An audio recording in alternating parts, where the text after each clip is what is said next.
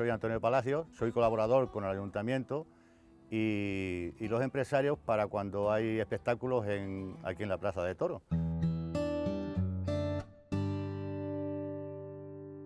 Me criaron, y hasta me parieron, como suele decirse, y me criaron aquí junto a la Plaza Toro, paré por medio. Estaba en mi casa de mis padres, estaba ahí al lado de la Plaza de Toro. Entonces, la verdad que para mí esto ha sido como la segunda casa porque aquí siempre había un matrimonio que, estaba viviendo aquí en la Plaza de Toros, entonces mm, teníamos mucha amistad y siempre él tenía también un hijo que era de mi edad y aquí nos metíamos en la plaza a jugar y todas esas cosas y entonces la verdad que, la mitad de mi vida prácticamente eh, estoy aquí dentro de la Plaza de Toros. además yo me acuerdo de, pequeñito porque el, corral que teníamos atrás en mi casa daba, daba los corrales, daba los corrales. Entonces yo me acuerdo que por ahí teníamos una escalera y nos subíamos a ver los toros arriba. y entonces, pues oye, el, ver la, afición que de la gente que has estado viviendo entre el toro prácticamente desde pequeñito, ¿no?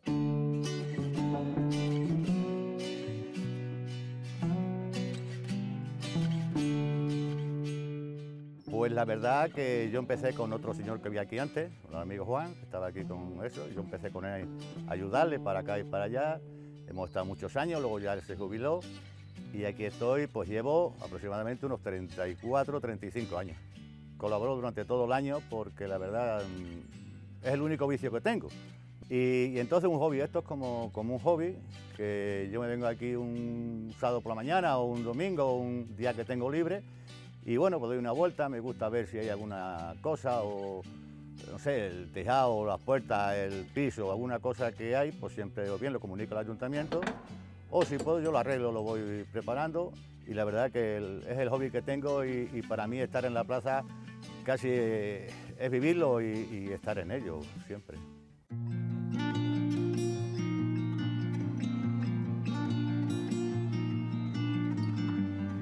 Bueno, pues cuando hay festejo prácticamente soy un poco responsable de que la plaza esté montada, tenga su seguridad. Ya desde el día antes de, del festival, por la mañana ya tienes que tener eh, aquí esto cerrado. Ya vienen los toros por la tarde, tienes que ya estar pendiente de la hora que vienen, recordar. Eh, llegan los veterinarios, llegan los delegados gubernativos, tal, hasta que ya cierras por la tarde ya, que se desembarcamos y tal. Lo que pasa es que mm, a mí me ha gustado siempre por la noche de madrugada, a las 2, a las 1, cuando venir a dar una vuelta al ganado. Y, y al día siguiente es el más largo, como yo digo. Al día siguiente más largo porque ya en esa primera hora llegan los caballos de picar, viene el delegado gubernativo, viene eh, las cuadrillas a ver el ganado, a hacer la segunda, el segundo reconocimiento, empiezan a hacer los sorteos, los lotes, para acá, para allá.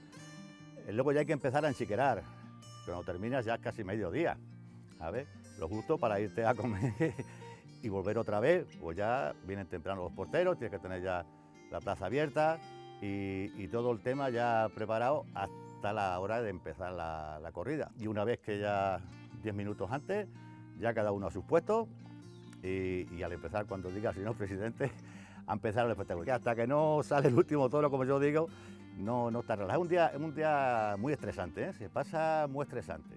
Pero ya te digo, se hace con mucha ilusión, con mucho cariño y, y lo principal es que todo sale bien hasta ahora de momento.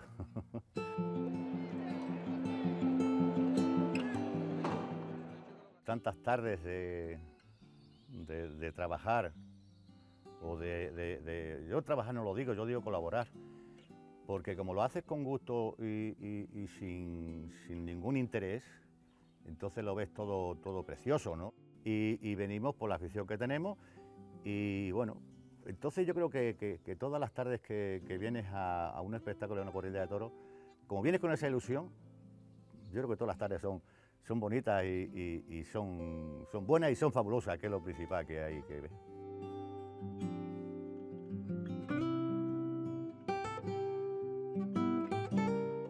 Yo ya prácticamente, yo te digo, con yo el equipo prácticamente ya casi no, vamos, casi no hago nada, ¿no? Porque a lo mejor yo vengo más temprano por tener las puertas abiertas y tal, pero a la hora de trabajar ya son ellos los que digo, tú aquí, tú allí al otro lado.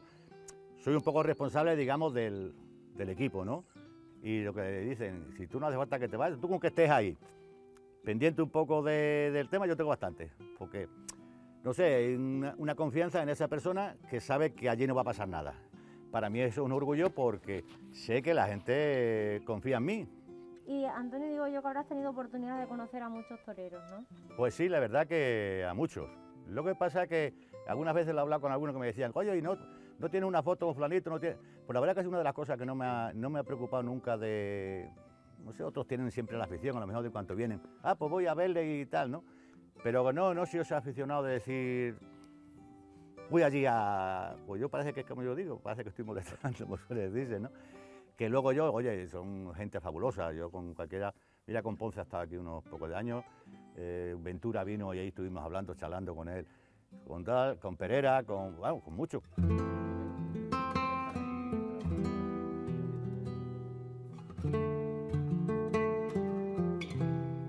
Y bueno, anécdotas de esas, suspender una novillada porque no había eh, no sé, suspender porque había mucha agua y al final hubo que suspenderla. Me acuerdo un año también que tuvimos que andar ahí con el serrín, echando el serrín por el agua y tratamos de secarla, tratamos de prepararla. Y bueno, se tiró para adelante. Eh, en fin, anécdotas de esas encuentra 40, ¿no? ¿Y has echado de menos este año los festejos de la plaza? Mucho, mucho porque, eh, no sé, tenemos ya la costumbre, ¿no? De, de decir, ahora vamos a preparar la plaza para tal fecha y ahora vamos a preparar para la otra. Y, y- y este año ha sido un desastre, porque este año la plaza cuando terminamos el confinamiento estaba de hierba que tenía un metro. Y, más o menos se la tiene medio, medio regular, pero se nota porque tienes esa cosa de decir, tengo que preparar esto para...